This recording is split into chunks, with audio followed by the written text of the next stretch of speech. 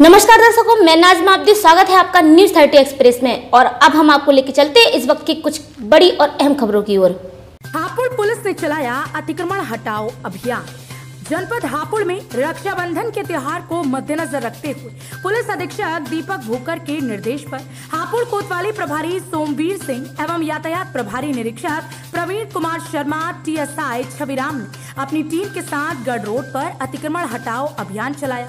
दुकानों के बाहर पहले सामान को तुरंत हटवा दिया गया और दुकानदारों को सख्त निर्देश देते हुए कहा गया कि सड़क पर अतिक्रमण न करें। इससे दुर्घटनाएँ होने की आशंका बनी रहती है। अगर आगे से अतिक्रमण किया गया तो सख्त कार्यवाही की जाएगी। दुकानदारों के सड़क से सामान हटाते ही सड़क खुली की खुली नज़र आने लगी।